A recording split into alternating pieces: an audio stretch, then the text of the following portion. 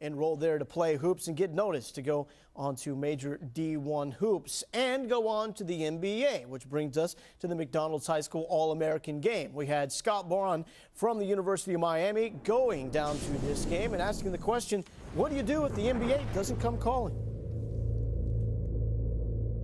These guys, they can fly. But what if the nation's top high school players fall just short of their ultimate goal? If not for the NBA, what would your dream job be? I'd probably have to say, um, uh, As you can see, it's a question mark for some players, but others have a backup plan ready to go. I want to be a probably like a gym teacher or something, or you know, broadcaster like yourself. So Okay. you know, something fun that I enjoy.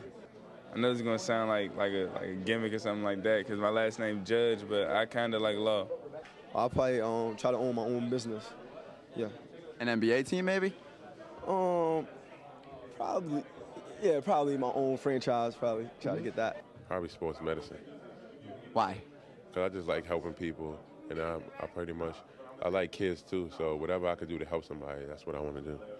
It's nice to have Plan B in mind, but for now, the NBA is the dream destination.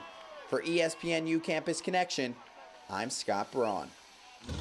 Dante Taylor providing a little depth to the broadcast there. It's all about helping people.